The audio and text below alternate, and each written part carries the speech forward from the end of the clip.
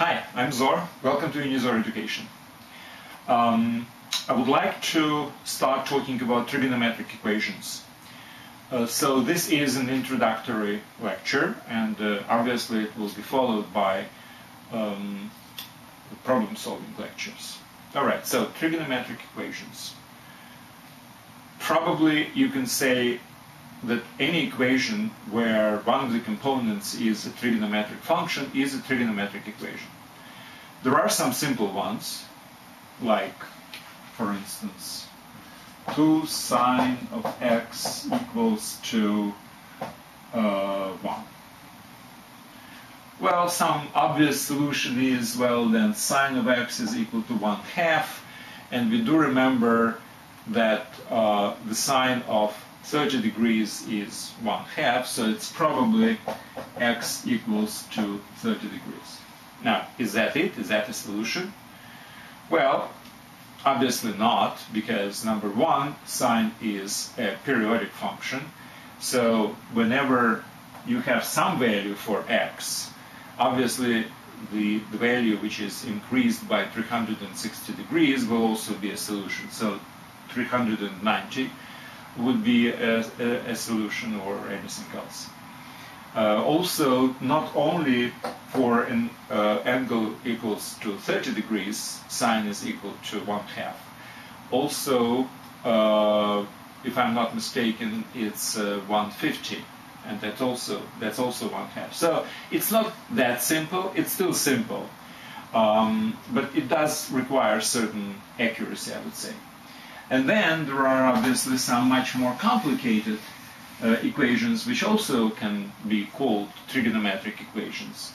Um, I don't know, something like square root of sine x plus log times 2 of sine x plus 5 equals to 0. I, I don't know, I, I, just write something which doesn't have much sense. Um, it's it looks very complicated, and quite frankly, I don't even know how to solve this. Maybe if I really try, maybe I would. But that's not really what I would like to, to, to present you right now. I would like to present you with simple trigonometric equations, which we can solve analytically to come up with some formula actually, which is the solution to these trigonometric equations. And then gradually increase the complexity of this. So forget about this. We will never be talking about this nonsense. Um, so let's start with simple trigonometric equations. And uh, uh, the first one which I would like to talk about is the following one. Now, don't be surprised that this is tangent for some reason, traditionally, we used to think that sine and cosine are the first trigonometric functions we are talking about. And then we go to tangent because actually tangent is defined as sine over cosine. But in this particular case, in the case of equations, it's easier to start with tangent, and you will understand why a little later. Um, now, if you would like to um, solve an equation, there are many different approaches, obviously. You can do it analytically, you can do it graphically, you can do it numerically, etc., etc.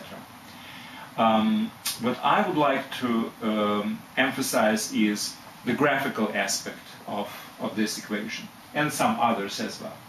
Now, if you have a general equation which looks like that, where f is some function, and you would like to address this particular equation from the graphical standpoint, how would you approach it? Well, you would do the following. You would first draw the graph of this function, which is something, whatever it is. Then you would draw the graph of this function, which is just a straight line parallel to the x-axis at point of uh, y equals to a. So it's this. And where, wherever these two are intersect, intersecting each other, so the graph of the function f of x and the straight line, which is a graph of this function. So it's this point, this point, this point, everywhere else, wherever it exists. Take their x coordinates, and these are solutions because at f uh, of uh, uh, at, at point x1, f of x1 is equal to this according to this graph, and it's a as well. So that's why f of x1 is equal to a. Same thing f of x2. It's this point, and it's also a. Uh, the ordinate of this, uh, of, of, this point is a, and so is f at x3. So x1, x2, and x3, and any other um, abscissa of intersecting, of intersection of these two, graph and uh, and the straight line, these are all solutions. Okay, we know that, so let's go to tangent. This is just a general theory about graphical solutions. What's the graph of the tangent? Well, first of all, if you don't remember it, I do suggest you to just stop this lecture and go to the tangent uh, lecture and uh, just uh, refresh your memory. Um, I'll just tell you the following, that if this is a tangent, then the graph looks like this. These are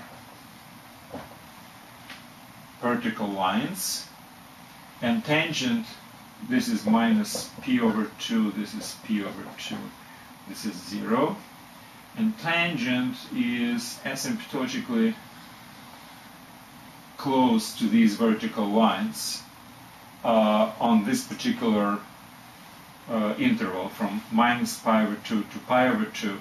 It's not defined at the end, end, end of this interval, but it's defined everywhere in between, and it takes all the values from minus infinity to plus infinity, and that's the graph of this function tangent of x on this particular period. And then this period actually repeats itself. So let me just have one more thing. So it's about this.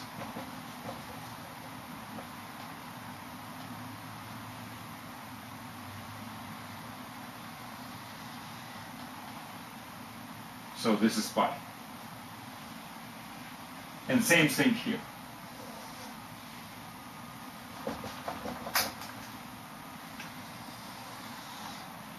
This is minus pi. So that's the graph of the function y is equal to tangent x. Now, this is the line y is equal to a. So this is a.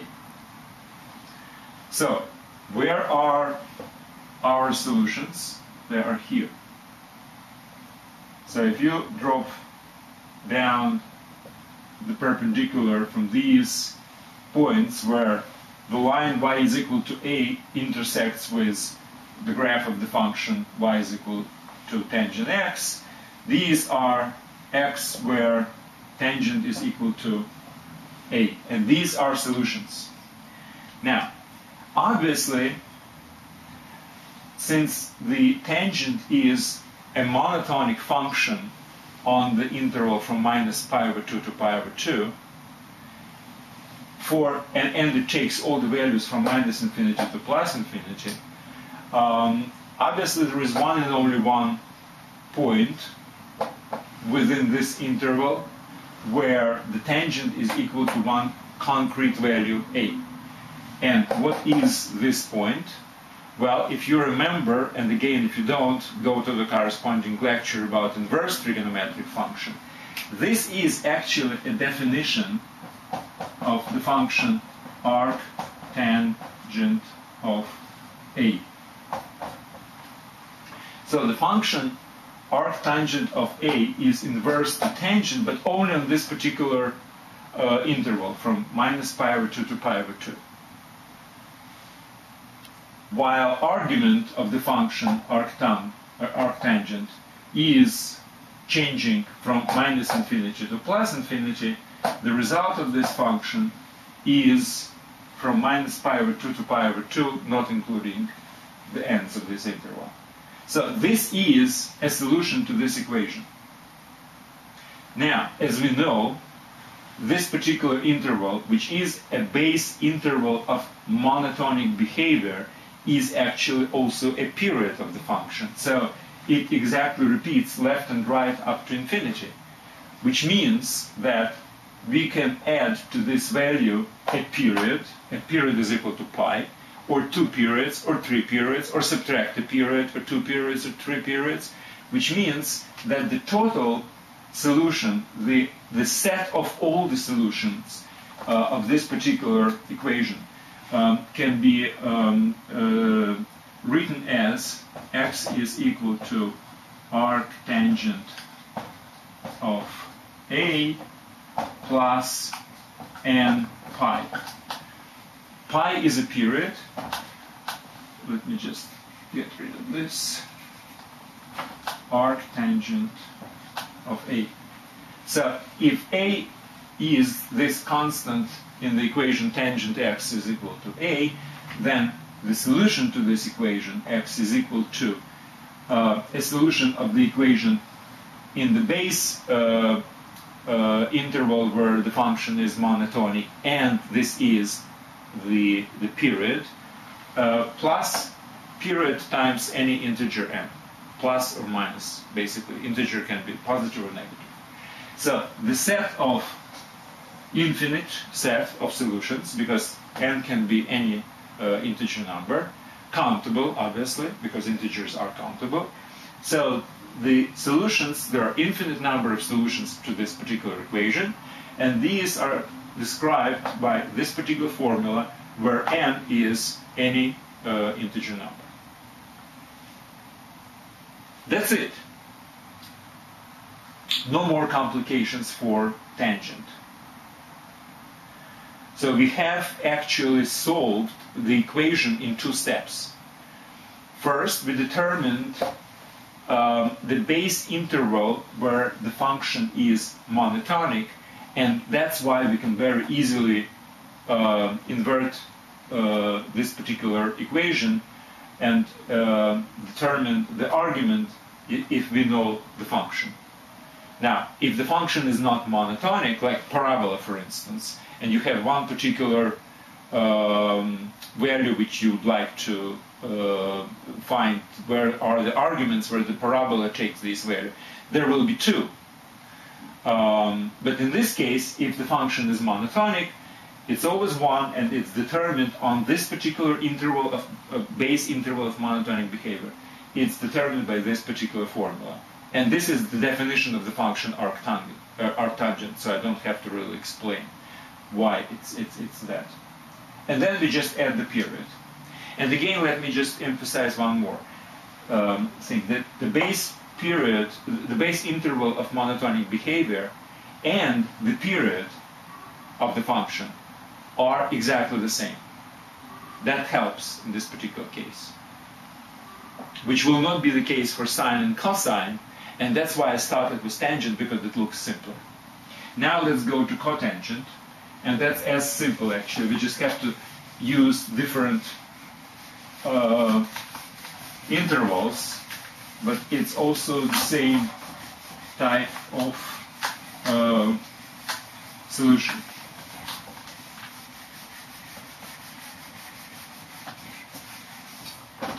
So we have equation cotangent uh, of x equals to a. So back to the graphic of cotangent.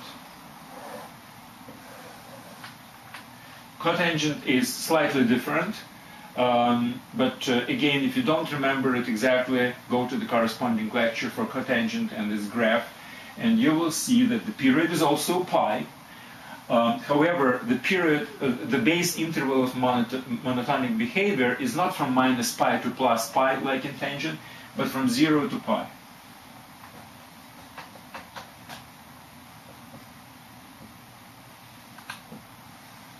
That's the graph.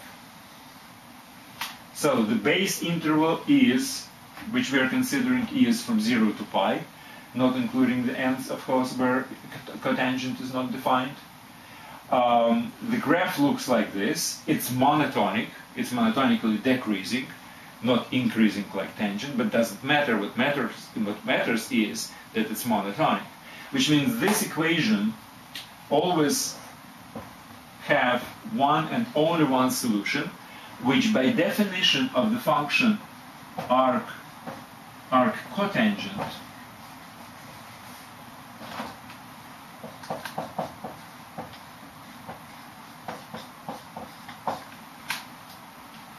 So by definition of the function arc cotangent, the arc, arc cotangent of A is a solution to this particular equation in this particular interval of monotonic behavior, which happen to be at the same time the interval which is the, uh, the period of the function. So all we have to do now is to add the period.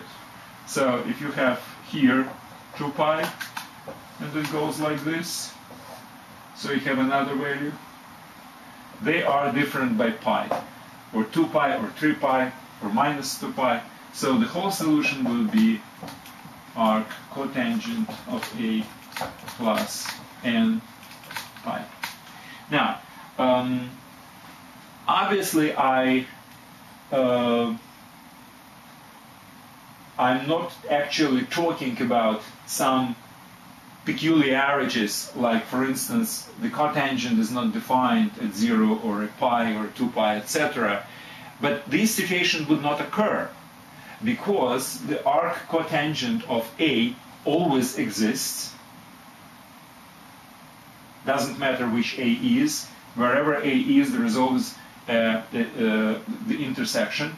And it's always in between 0 and pi, not including the ends. So I don't really have to think about can I have a solution x is equal to 0 or x is equal to pi? No, I will not have it because of this.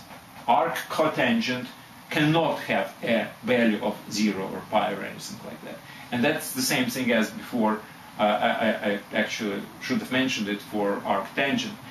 These peculiar values where the cotangent doesn't exist would not be solutions. This formula doesn't allow them for this. Okay, fine. These are two simple cases, tangent and cotangent. Now let's go to sine and cosine, which are just a little bit more difficult. And you will understand why in a second.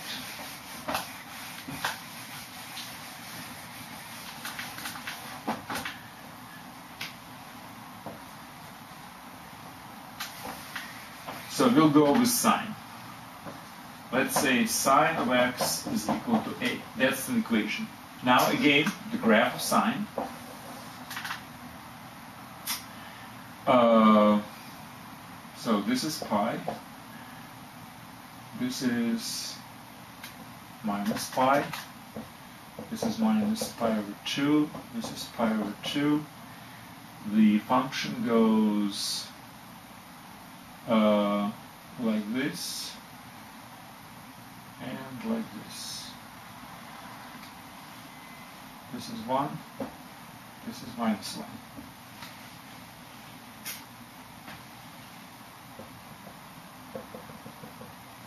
Now, this is a period from minus pi to pi. I mean, I can take any um, uh, interval which has the length of 2 pi because 2 pi is a period, but this is the most convenient interval. I'll explain why. Um, first of all, what we observe here that on this period, function is not monotonic. Like period for a tangent was pi, and the period and, and, and the basic interval of monotonic behavior is also uh, has a length of pi, from minus pi over 2 to pi over 2, similar to cotangent. This is not the case. So if I will draw a line y is equal to a, well, number one, that line might not even intersect the graph. If a is above 1 or below minus 1, we don't have any solutions. So the first thing which comes to mind is that the a should be from minus 1 to 1 if we want to have any solutions. Because if it's not, then there is no solutions. Sine will not be greater than 1 or less than minus 1. Okay, so that's one thing. But even after that restriction, we still have a problem. You see, we have two points where the graph of uh, sine intersects with a straight line. And we somehow have to deal with this. Now, in the previous case with tangent and cotangent, we had the solution obtained in two steps. One, we solved it uh, on a basis on a base interval of monotonic behavior, which happens to be the same as the interval of periodicity. And so all we had to do on the second step is just to add period times some, some integer number n, plus n times pi, pi. In this particular case, the period is, uh, has a length of 2 pi, from minus pi to pi I chose, but the periodicity, but, but the, uh, the monotonic behavior is on a narrower interval from minus pi over 2 to pi over 2. And that's actually, that's where our arc sine function is defined.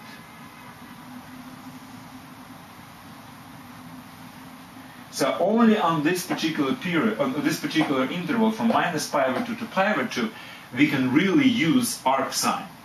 And this particular value, this particular value, this x, this x is, in this particular case, is arc sine of A. But, as we know, by definition of the arc sine, x is only from minus pi over 2 to pi over 2. What about this guy?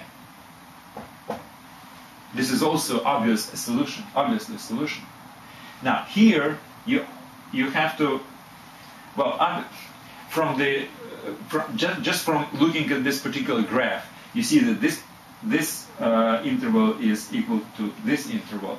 Now what does it mean? Remember sine of x is equal to sine of pi minus x, right? Remember this? Again, if you don't remember this elementary identity, check with the corresponding lecture on trigonometric identity. And it's very easy actually to see from the unit circle. Because what is a sine on the unit circle? It's ordinate, right? So if you have a point here,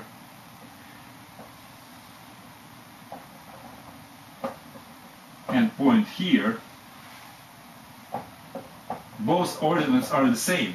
So sine of this angle and sine of this angle are the same.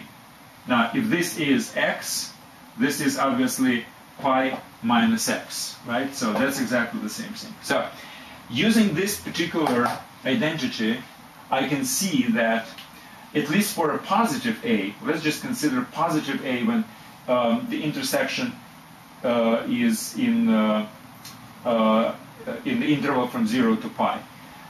This uh, point of intersection is arc sine, and this one is pi minus the first one, right? So we have two solutions. Pi minus arc sine of A. So this is x1, this is x2. So we have two solutions. This is for positive A. Okay, how about for negative A? Here is A. Now this again, this x1, is arc sine because, so again we have x1 equals to arc sine. Okay? And how about this one? Well, same thing, but we have to start from minus pi and add this arc sine. But it's negative, so it's again minus uh, x2 is equal to arc sine is negative, right? It's negative. So if I want to go to the right, I have to basically subtract the negative. So it's minus pi minus arc sine of A. These are two solutions. And finally, if A is equal to 0, you have 1 two, and three solutions. Well, let's just not consider this a is equal to 0 right now. We will consider it a little bit later when I combine everything into one formula. All right, so we have these two cases. Um, now, how to uh, generalize these to the entire um, uh, real values of, uh, of, of, x? Well, let's forget about this graph. We don't need it anymore. So we can say that in this particular case, I have to add basically a period, to pi. So what happens is x1 is equal to arc sine of a plus 2 pi n and x2 is equal to arc sine a uh, sorry it was a minus sign. Minus arc sine a plus um, 2 pi n plus pi right? Pi this is the pi minus arc sine and plus the pi. That's for a greater than equal, uh, greater or equal to zero. Let me rewrite it slightly differently.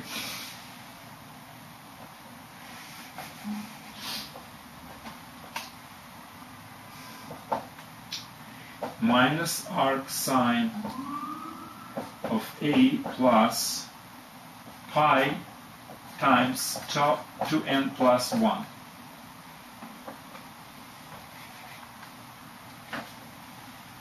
I just uh, factored out pi. And this I will not change, I will just rewrite it in the same form. Pi times 2n. So, when n is even, I have plus uh, not not n. Sorry, when multiplier by pi, this uh, this multiplier, if it's even, then this is a plus. If it's odd, this is minus. I can combine these two formulas into one, which is x is equal to minus 1 uh, to the power of k arc sine of a plus pi k, where k is any integer number. So if k is um, uh, even number, so it can be represented like this, then it would be minus 1 to the even power, and minus 1 in even power gives you 1. And if k is odd number, uh, minus 1 to the odd power, will, like 3, 5, etc., will always be minus 1, so it will be minus sign. So this is just a, a shorter version of these two formulas for a greater than 0. Now, let's do something similarly, something similar with, uh, with a less than 0. So I have to add 2 pi uh, n in both cases. So x1 is equal to arc sine of a plus pi times 2n. And the second one is minus arc sine of a plus uh, plus pi and plus pi times 2n. So it's this same thing as in this case. Sorry, that's minus in this case. It's minus pi. So that's why it's 2n minus pi. But um, consider the n is any integer number. So 2n is any even number, and 2n minus 1 is any odd number. It doesn't really matter that this is 2n plus 1 and this is 2n minus 1 Still, this actually goes through all the odd numbers, and this goes through all the odd numbers if n is any integer. So it doesn't really matter whether it's minus 1 or plus 1, it's still an odd number. Any odd number, as n is moving across the all integers, this is moving across all the odd integer numbers, which means this, that, that I can combine them into exactly the same formula.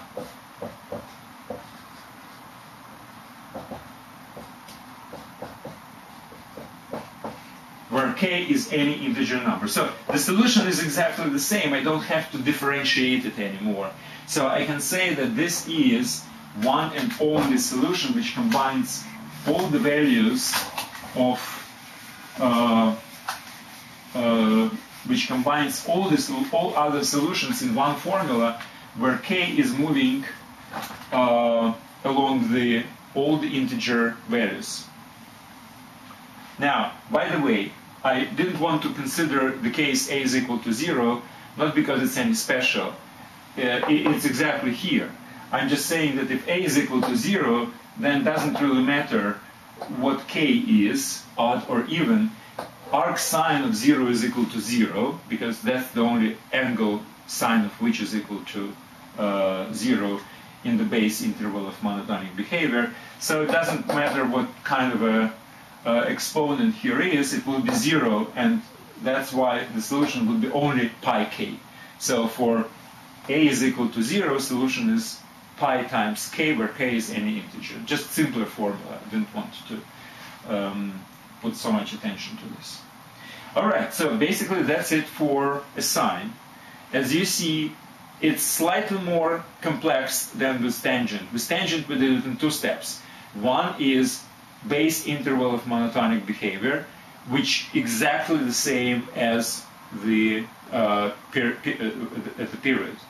In case of a sine, we have to do it in three steps. First, the base interval of monotonic behavior, where we can use arc sine, the inverse function. Then we have expanded it to a period by just adding, uh, by, uh, by changing like pi minus arc sine or minus pi minus arc sine. And then the third step is exactly the same as before. The last step is expand using the periodicity. So just one more steps. Two steps for tangent and three steps for, for sine. And cosine would be exactly the same thing. Let me just do it quickly.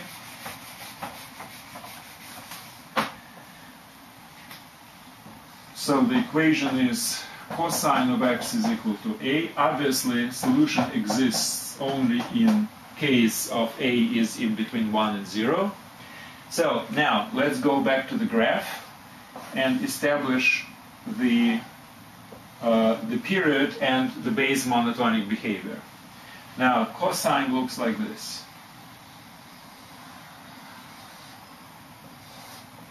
From 0 to 2 pi. This is pi. This is pi over 2. This is 3 pi over 2. And the monotonic behavior is from 0 to pi. Here, the function is monotonically decreasing, which means we can solve this particular equation on this interval without any problems. And the solution is arc cosine of A. So that's the, that, that's the solution. Arc cosine of A. But there is another one, which is here. How can we find this solution? Well, very similarly. Uh, obviously, this is equal to this. So cosine, as we know, is a, an even function, which means cosine of x is equal to cosine of minus x. And cosine of minus x, since cosine is a periodic function, is equal to cosine of 2 pi minus x. I just added 2 pi to the argument, right? And this is exactly what it is. 2 pi minus this. This is just basically a, an explanation why, if this is a solution, then this 2 pi minus arc cosine of A or minus arc cosine of A are solutions as well. And these are just different in, in 2 pi. And this is different from this by the sign, and the cosine is an even function, so these are all solutions. Now, if a is positive, and if a is negative, it's actually, actually the same thing. Then this would be the arc sine, and again, this length is equal to this length. So basically, I don't even have to consider two even two, two different cases when a is positive or a is negative. The solutions are always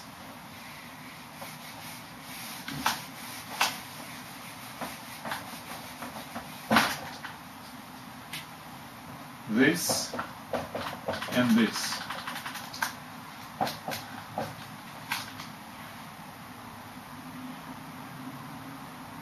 All right? Now, 2 pi minus would actually fall within the, the period from 0 to 2 pi. That's why I might actually prefer that to write in this particular case. But it doesn't really matter in the general case when I expand it to the whole um, to the whole uh, set of different values of arguments, because if I add the periodicity, if I add 2 pi n basically, then whether I add this 2 pi here or it will be just part of this 2 pi n doesn't really matter. So the solution are plus minus arc cosine a plus 2 pi n, where n is any integer number. That's the general solution to this particular equation. Well, that's it. Um, this is just an introduction to trigonometric equations. Now, the real problems related to trigonometric equations are obviously much more complicated than these, and we will consider them in the future lectures. But what I would like to say is that most likely um, these trigonometric equations which are presented to you as problems uh, will be reduced eventually to these using just regular algebraic methods. Um, just let me give you an example. What if you have something like sine square of x is equal to, uh, I don't know, one half? Well, it's a combination of two things, algebraic and trigonometric.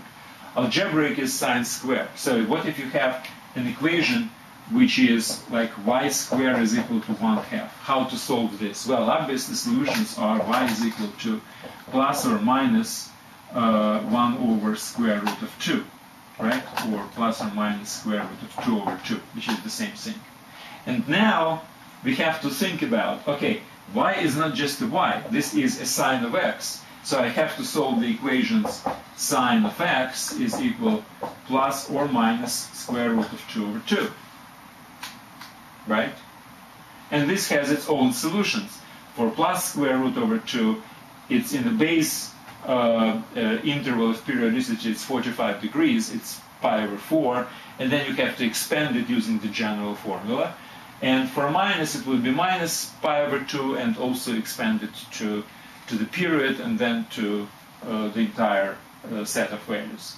So it's it's again combination. First, you do something algebraically until you solve it to the level of one single equation of this type, and then you apply trigonometry to get the final solution for, for x. That's the general idea. I mean, obviously there are some variations, but most of the uh, e equations which are related to uh, to trigonometry, which need, need need to be solved, they are of that type. So first you apply some algebraic methodology, and then finally you go through the trigonometric uh, trigonometric uh, uh, part, trigonometric steps, if you wish. All right, so uh, be prepared that next lectures would be uh, evolved around um, solving the problems. And um, that's it for today. Thank you very much for your attention and uh, good luck.